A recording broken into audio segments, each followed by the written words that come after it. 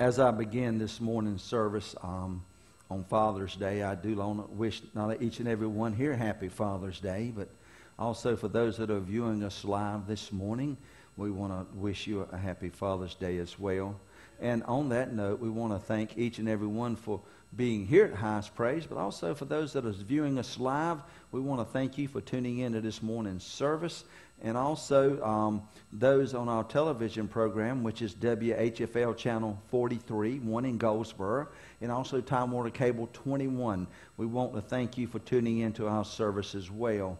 And if you don't have a church home, we'd like to take the opportunity to invite you to come out and, and be a part of what God's doing. And people ask me one time, what what's your denomination? What are you? I said, we're a, we're a Bible believing church. And that's all you need to know. Amen. Amen. I want to go into this Father's Day message. Um, and, and of course, one of the greatest and the favorite fathers of all in the Bible is, uh, is the prodigal's father.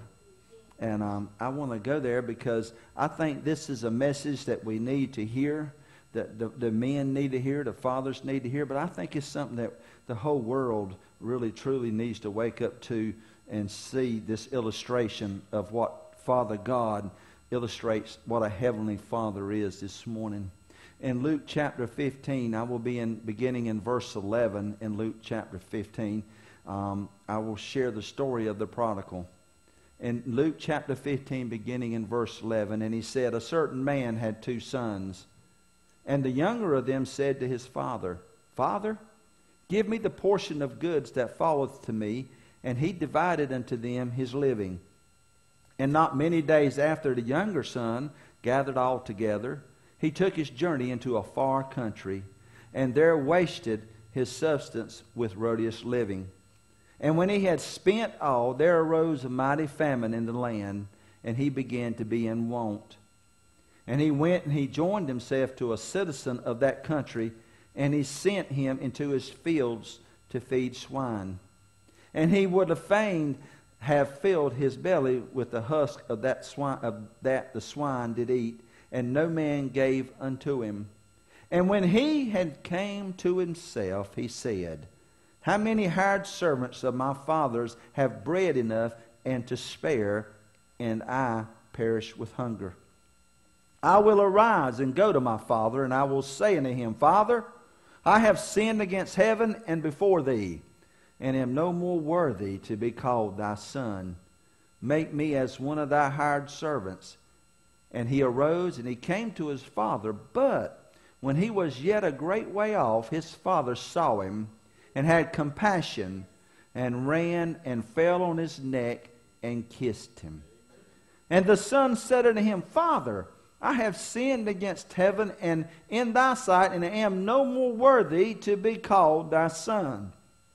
But the father said unto his servants, Bring forth the best robe and put it on him, and put a ring on his hand and shoes on his feet. And bring hither the fatted calf and kill it, and let us eat and be merry. For this my son was dead and is alive again. He was lost and is found. And they began to be merry. Now his elder son was in the field, and as he came and drew nigh to the house. He heard music and dancing. And he called one of the servants and asked what these things meant. And he said unto him, Thy brother is come, and thy father hath killed the fatted calf, because he hath deceived, received him safe and sound. And he was angry, and would not go in. Therefore came his father out and entreated him. And he answered, said to his father, Lo, these many years do I serve thee, neither transgressed I at any time thy commandment. And yet thou never gavest me a kid that I might make merry with my friends. But as soon as this thy son was come, which hath devoured the living with harlots, thou hast killed for him the fatted calf. And he said unto him, Son, thou art ever with me, and all that I have is thine. It was meet that we should make merry and be glad. For this thy brother was dead and is alive again and was lost and is found. Well, that scripture is, is so important. And how does that portray Father's Day? Well, I want you to understand something. This is a story that, that God has chosen to illustrate Heavenly Fathers. See, first of all, he must then be the ideal earthly father to study. In order to celebrate Father's Day God's way, we got to understand what God says about heaven, about fathers and how we do them God's way. Amen. See, the story goes that he was a father of two sons who were prodigals for a time. And what does prodigal mean? Meaning they were exceedingly or recklessly wasteful. See that now both of them had serious prodigal problems. The younger was a prodigal in choosing the pleasures of sin. The older was a prodigal in choosing pride for self. So, but they were still this man's two sons. But because the father was what he was, the prodigal became what he should be, both of them, because of the father and what the father did. See, the younger son returning, and then the older in a decision to make a decision on how he was going to follow what his father done. So, what kind of father was he? Well, this Father's Day, I want to tell you first of all, as we look at Father's Day, and this is a, a message that is sometimes it's, it's hard for us because some of our fathers have gone on to be with the Lord, are no longer with us. Some of our fathers that, you know, we, we, we have maybe issues with, or maybe we were raised in, a, in an era where things didn't go like we should. And then you have fathers that have, um, like myself, that um, it, this means a lot to me because even though I know you know, that um, I made mistakes. Any father never made mistakes? Even though I made mistakes, I realize as I see this message that if I reach anybody today, it's to tell you one thing that turning your life over to God and being a father that God has called you to be is a decision that we all have to make. And I can tell you without a doubt that you can wait till it's too late to turn around and, and say, okay, this is the way I do it. You know, as myself, I do pay the price for living a life that did not include God because it did separate me from my children. But as a, a father that has served God now for years, I, I trust God that He will restore and rebuild. So I want to send this message out today to anyone in the family, anyone listening, that if you're a father listening today, it's never too late. God will restore and rebuild no matter what Satan has tried to tear down. And that's where I walk by faith, trusting in Him to do just that with us this morning. He was an approachable father, church. We read in verses 12 through 18, the text says that, that he, it, it would um, give us something about the family history that would tell us about this approachable father. But first of all, first we don't know for sure, but these are things that seem to t- take place. Seems that the mother of the boys had passed away because the mother was not mentioned. Perhaps at the birth of the youngest son, or maybe perhaps the man had stood at a grave with two boys. Now, regardless, the text also indicates that the man was wealthy because he had servants. So that we, we're going to look at this approachable father, okay? Because regardless of his circumstances, he loved his he loved his children. Amen. Also, look. I want you to think about these these children, and especially the younger one. Look at the young son. I mean, any of you ever been young before? You ever, you ever had that time in your life when you felt like, okay, man, he dreamed of doing something that you, if you were raised on a farm or raised somewhere and you just dreamed of, of, of, of, of going somewhere to a far country or, or, or getting on a bus going somewhere and, and what it would be like to go to Hawaii or, or, or, or other places. Just Have you ever been in that kind of place where you were bored where you were at? Well, see, this son kind of was at the point where he was just kind of like, man, I tell you what, there's got to be more out there. There's got to be a whole lot going on out there that I'm missing it. Now, see, we got to understand something as we look at this. Um, that the younger son could have just, did he go to the father? He did. He went straight to his father because he was approachable. See, what you got to understand as we go in this message, he could have slipped off in the middle of the night and ran away. He could have just, hey, he could have asked some others to intercede for him and he could have went out and done his own thing. But see, this son had such a relationship with his father that most people don't look at. Nobody ever looks at that he actually went to his father and told him what he was going to do. He actually, his father was approachable enough that he knew that even though it was his thoughts and his dreams, he felt free to come right to his father because he said, Father. And, he, and, and, and, and the father was there for him. See, a lot of times as fathers, you know, we, we have to sometimes let our children make own decisions.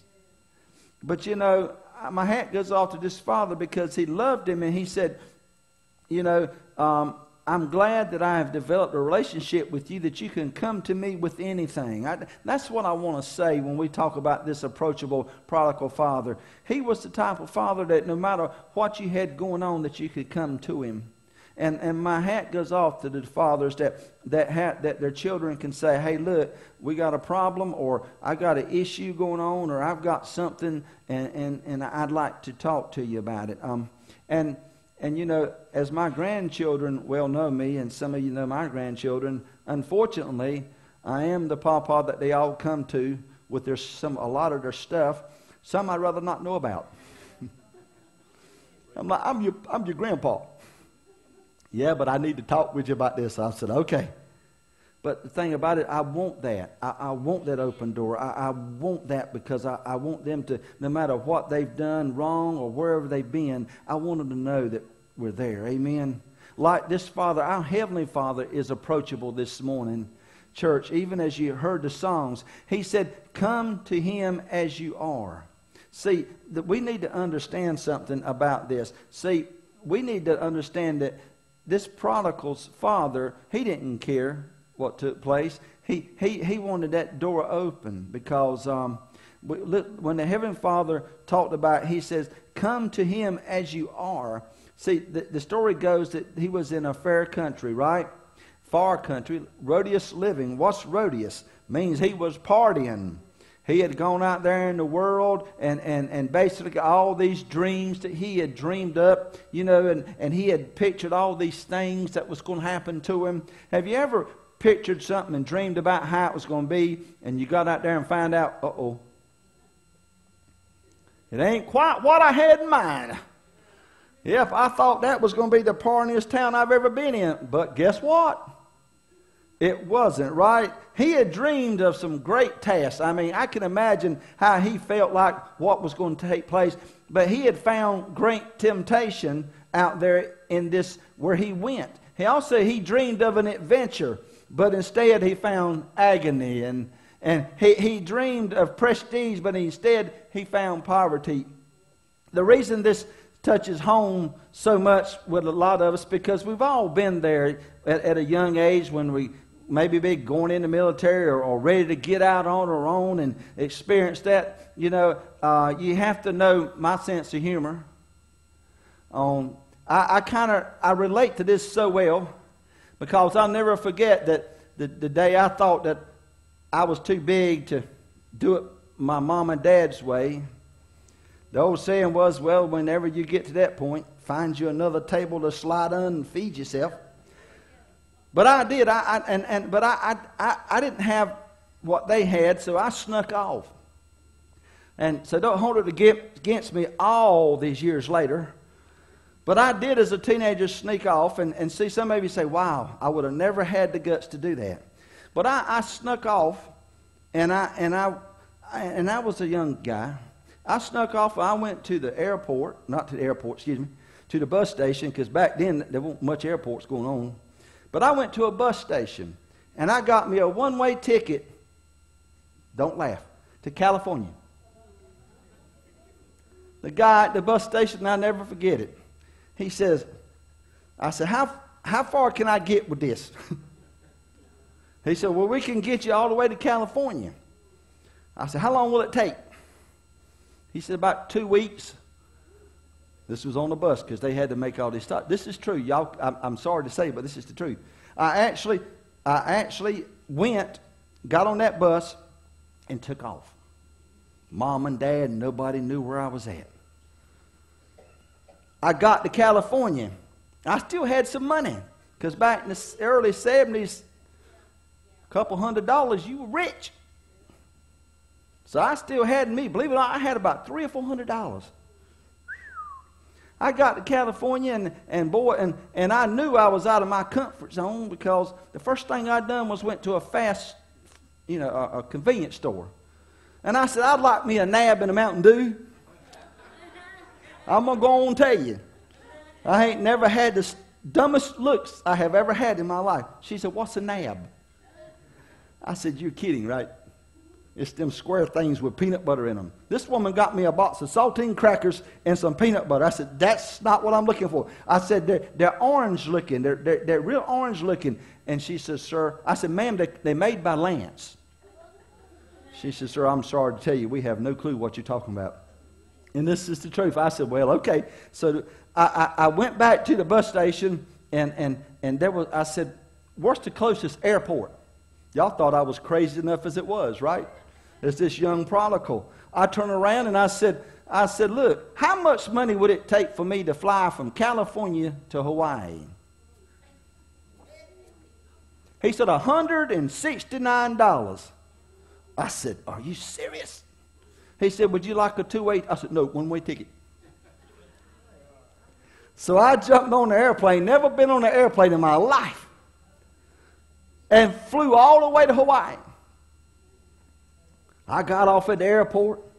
I thought, man, this is it. I'm going to go see Magnum. I kind of looked like him back then. I had hair. I had a mustache and hair, boy. All legs. And I went in there, boy, and I tell you, I went in there and, and I got to the airport, and all of a sudden, security met me. They said, Sir, um, what's your purpose here? And, I, and you know, I, I but by 18. I said, What do you mean, my purpose? I've come to Hawaii. I want to go to the beach. I'm going to go hang out at the beach. He says, Sir, I can't allow you to leave the airport. He says, um, Do you have a passport? I said, What's that? He said, Well, you're not supposed to be here without one. I said, Well, it's a little too late for that. I'm here. And, uh, and this ain't no joke. I had to pick up the phone after spending several days at the airport trying to figure out how to beat security to get out of the airport, and it won't happen. So I finally had to pick up the phone and call all the way back to Kinston, North Carolina. And mom answered the phone. No, my dad did. Yeah, it was, it was even worse. Better off in Hawaii. I told him, I said, I said, hey, I called my dad, Tom. I said, Tom, this is Greg. Uh, all I heard was this, because apparently it was midnight. I forgot time change thing going on. I, and, and, all I heard was this voice Ed Earl, it's your son. Your son. It's Greg. And, I, and, and, and all I could hear was a lot of volume. And he said, She says, Greg, where the blank are you? I said, Well, you ain't going to believe this. I said, uh, I'm in Hawaii. And all I could hear was somebody in the distance, words you've never heard before. I said, The problem of it is they won't let me stay. I said, I've got to come back home. And this ain't no joke. I had to get permission to go back. I had to get permission from my parents for the government of Hawaii to let me leave and go back to Kinston. And I know as that prodigal, what you can fill your mind full of about, I mean, come on, anybody ever remember when Magnum come on? Hawaii 5 y'all got remember that. Come on. The man lived in a mansion and drove a sports car for crying out loud. Right? Y'all, anybody remember that? So you can picture this prodigal. He got out there and he just, he pictured some serious living. Camels, Cadillac camels, and he, he just pictured all this stuff going on, and, and all of a sudden, his eyes was open. All of a sudden, all these dreams, he dreamed of romance like Magnum. That's, I mean, let's be honest, the dude, it was just unreal.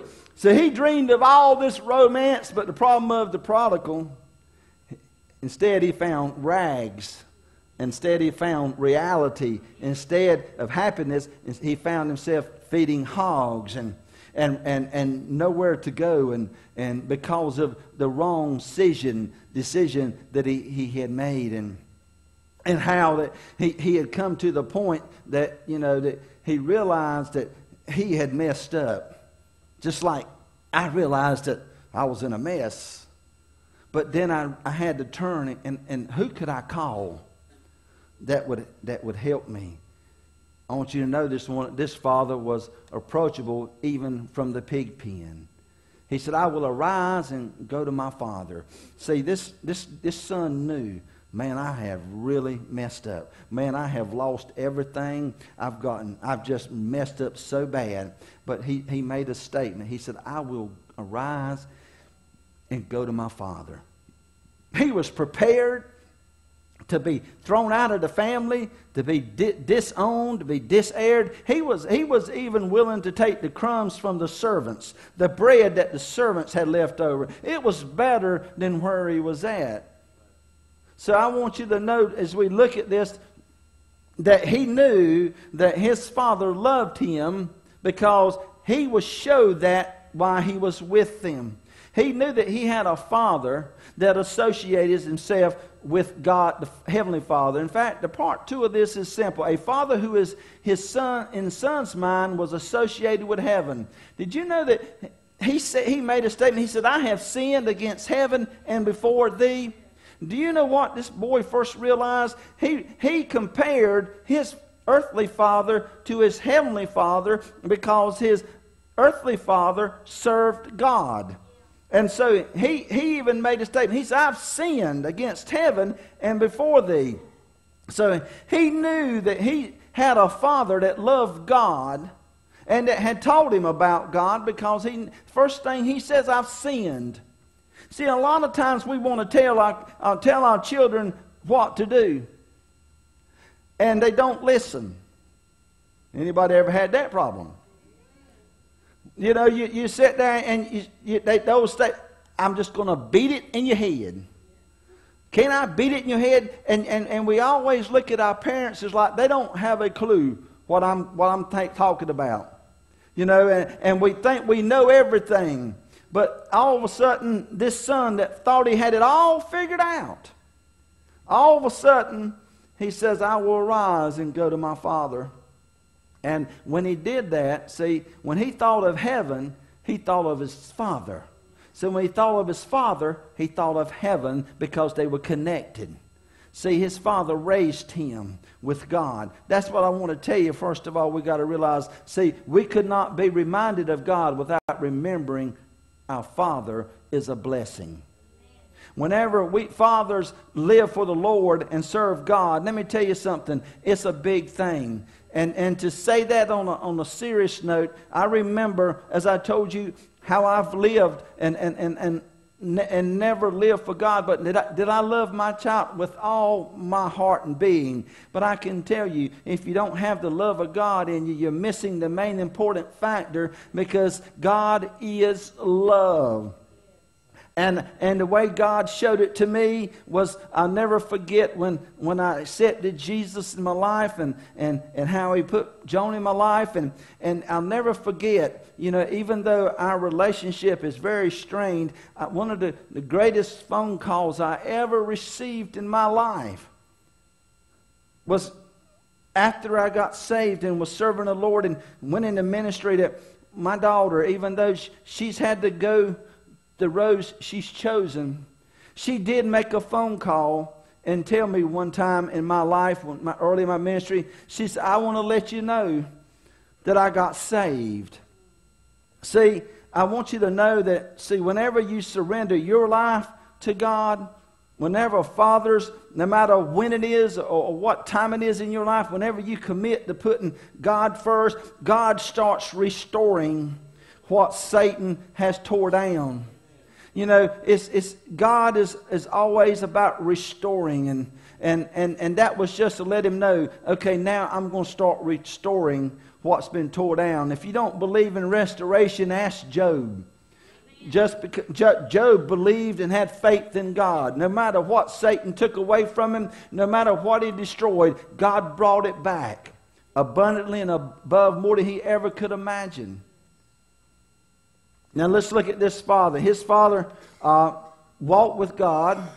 Say, now think about this Wow, what an impression. See, his son couldn't escape the fact that he had been taught the Lord, about the Lord, remembering that his father, how he prayed, about the devotion times that the father had spent with the son, about the walks he, his father had with God, and, and, and, and all these times his father um, associated with God. See, whenever a child gets out there lost in the world, it's because Satan has steered him out there and put him in a place that he doesn't know where he's going and he never realized who was leading him. But see, see how important it is for this prodigal's father that, that knew God. He had instilled the things in him to show him the way back home. Church, I'm telling you, we're living in a nation nowadays that uh, godly fathering is something that's a mockery. I thank God for the fathers that believe in Jesus Christ. I thank God for fathers. I don't care whether you were a teenager or were you, no matter what your age, that you committed your life to God because that is what God's all about. And that's what's going to rebuild and restore the church, the nation, the family, is for godly fathers to have uh, to, to take charge in a godly way. Amen. Fathers are supposed to be godly. I want to also tell you this morning, this Father's Day message, uh, it's about a father who was affectionate. He ran and he fell on his neck and he kissed him. That was in verse 20. See, church, it's nonsense that we're supposed to think manhood calls us to be cold and callous. Yes, I know how everybody was raised. I was raised on a tenant farm. I was raised in certain situations that, you know, it was hard hard living, hard work. But listen to me, church. The, the, the, worst thing that we can believe is this that we've got to be hard all the time. See, this, that's nonsense to me as, as, as a father and as a grandfather. I've learned one thing the greatest thing that I can do is be a compassionate father, a caring and loving father Sure, I, I, I, lost a lot, but I've gained a lot through God. And, and, and what I do is I try to show people how to live for God.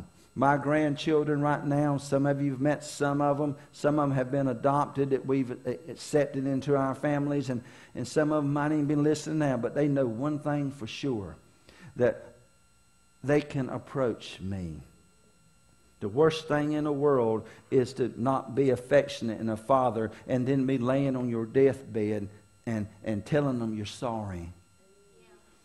See, church, that, that's not what God intended. This, this, this prodigal's father, he, he was affectionate. Man, he didn't say, look, get a high powered rifle. When you see him come over, he'll take him out. Or better yet, I have seen fathers that actually have said this Look, he messed up. He made his bed hard. Let him lie in it. I don't care. I've dealt with fathers, and, and, and the children have messed up on drugs and whatever, and he said, You know what? Don't look for me to give you no pity on him. See, let me tell you something. That's not God. I love this because what happened was when he fell to him, he, he, he came to him and he kissed him. He, he didn't make no big deal out of it in the wrong way. Man, he was thanking God that he sent him back home. See, I don't know about y'all, but my daughter was to walk in that door today and come in no matter what she's gone through, it would be a blessing. I wouldn't sit there and say, Well, what are you doing here? You have no right to be here. No, that ain't what God wants us. God wants us to embrace our children. So what you mess up? Look in the mirror. We did too. I just pray mine don't mess up as bad as I did. I pray mine don't try to go to Hawaii because it's a whole lot more expensive. I pray that my, you know, I think that's why I've learned to to, to not shut the door on situations because I'm like, man, you just don't know. Mine wasn't affectionate. In fact, prison was probably simpler than going back home. I'll never forget it that one of them told me, he, and, and I used to get in a little trouble. And they told me one time when the cop, just a little bit, and the cop pulled me over out we used to call it the Institute in LaGrange. And a lot of people listen knows that. And it was, it was kind of the, the no man's land out there in the country, Hardison's Crossroads. And, and, and, and, and one night I got in trouble, just a little bit of trouble. And the cop back then they don't they didn't write you tickets. They called your parents because they knew them. And he says, "All right, Greg, you got a choice. Let's go. I'm gonna carry you to your parents, or you can go to jail."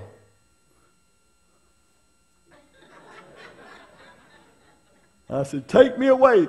I said, because as soon as we walk in that door, there's going to be one of us flying out of it, and it ain't going to be you. And I, and I would. I took the jail time. I knew. I knew. Look, my dad was hardcore. And, and, and, but you know what? There was still something inside of me. He's still my father. But you know, and, and, and what we should do is listen, you're not going to stop your children from, from making bad decisions. You just have to teach them the godly way. And, and the Bible says, teach them and bring them up in the way, and they'll, they'll return. You know, I believe in my life that I would have made a lot less mistakes if, if I didn't do them out of anger and bitterness and strife. If I'd have known, you know, in a, in a loving way of, of compassion. Folks, you know, life is too short for us to, to walk around hard, stiff necked, and, and, and not having love and compassion for people, for our family.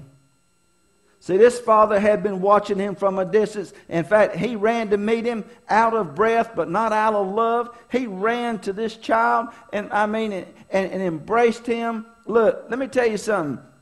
I want you to understand this. His son was returning. That's all that mattered. And the time away made no difference to this man. The smell of wine, he had been in a hog pen. It didn't matter to this man. See, the rags made no difference, nor did the empty pockets. He had wasted every dime his father had given him. His son is home, and that is all that mattered. This is Father's Day's medicine is about listen, church. Quit trying to be what God didn't create us to be. Fathers, we need to always have love and compassion, and I admire the fathers that always, no matter how much their children mess up, that they can come to them. Suicide will be way far down whenever our family knows that, or our children know that they can come to us. My grandchildren know right now, without a doubt, that no matter what they do, no matter how bad things get, that they can come to me and that I will be there for them. Just like with my daughter, no matter what happens. That's about um, affectionate fathers. Affection. That means that we, we love them unconditionally and, and, and no matter what, no matter what. See, God set the example for us. And, you know, I always thank God every day a, a lot because Father's Day, my wife says it's kind of tough. I said, no, it's not. I said, it's not as tough as it could be because, see, God has put people in my life that, that I, I treat as my own. I told, I told John, I said, I said, I'm a father to a lot of kids. I, I, I, love, I love my family. I love my church family because they're going to be with me, see, eh, forever. So I, I don't, I, I let God open the doors to the relationships that I have and set the example so that I won't be a hard, bitter, old person that, that ends up alone. Let me tell you something, church. That's not what God wants us to be. I love to see families get together even though they're all messed up. Now, all of them. They're all crazy. You know, you ever seen family reunions when everybody gets together and they're all a bunch of crazy folks. Right? Come on, let's be real. I know some of you all perfect families and all this stuff, but you know, and, but see, we love them family reunions where everybody gets together and and the greatest gift of all is, uh, is, is if we have the love of God in us, how God brings us closer together. You know, through, through Father's Day, I thought about this. I remember my dad how hard, hard, hard, hard he is. But I also remember now, as I go to my dad right now, and they're, him and my mom in their 80s, when I go to them now, do you know what I can do? I can go up to them and done something that has never been done. I hug them. And they give it in return because of the love of God that's inside of me. See, that's what an affectionate father will do. They don't, we don't care about what they've done. Did Jesus tell any of us? Well, before I accept you as my Savior, I mean, accept you as um, into my family, as before I forgive you, I'm going to go and tell you what you've done, and you're going, I'm going to throw it in your face. Jesus said, forgive them. Yes. Let, let me tell you something. When Jesus forgave them, he forgot. See, church, I'm here to tell you right now the greatest gift we've been given is a Heavenly Father for an example to show us how to have love and compassion for all people in need. And last but not least, as I pull this down, a father who was assuring to both. Do you know this father was only not affectionate to the one that run away? He's also showed affection to the one that was hateful. In verse 22, he said, Bring forth the best robe. See, godly fathers should take the problems of God as God, the Father that takes them. He should take the situations that are, and he should do what? Look what he said. Father should take the problems as God, the Father, takes them. And what's that? Cover them under the blood. Amen. Bring them back in.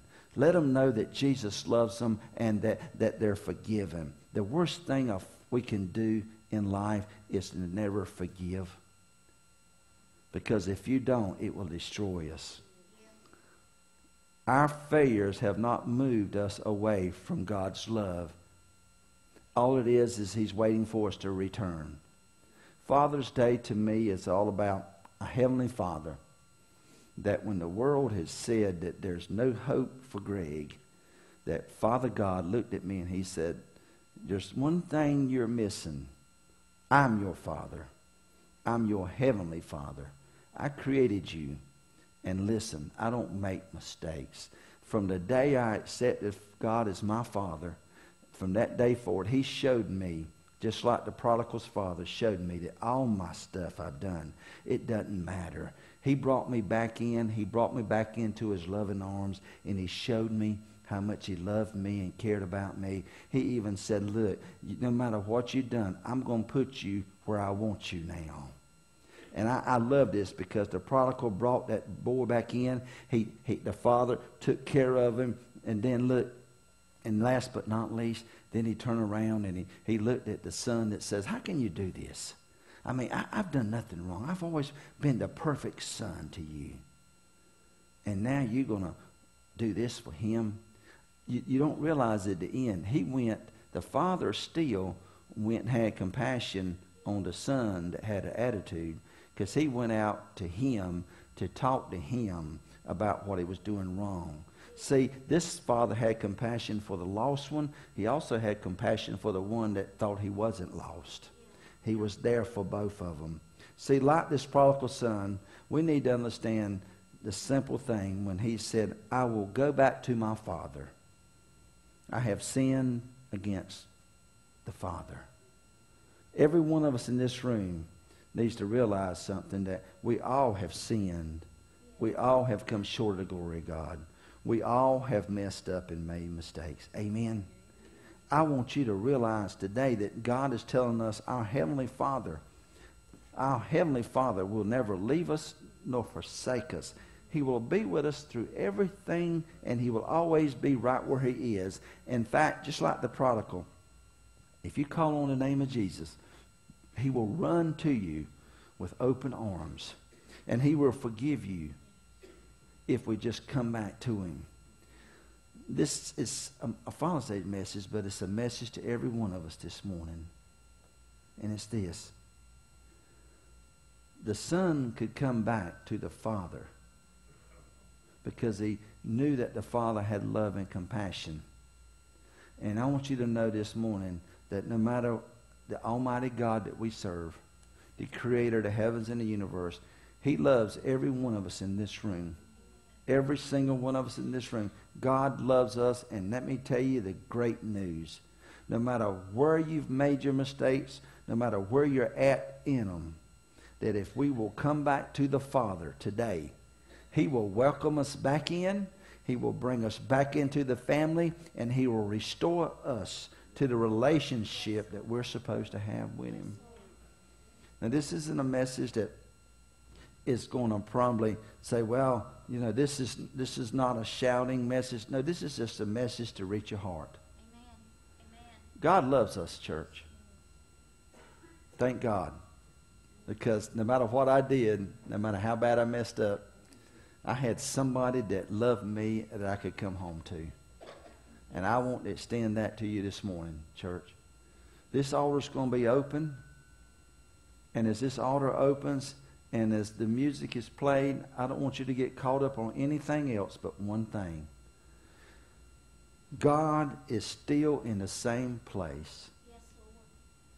And if we walk out that door today, there's no guarantees of what might happen in our life.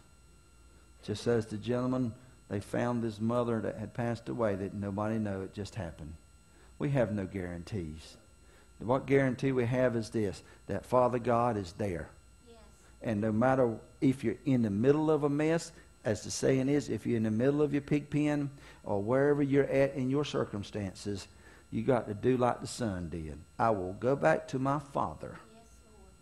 And that's all we got to do today. This is an invitation, church. No matter what you're going through, no matter what you're facing, God is there. Let's open the altar as they play. This altar is open, church.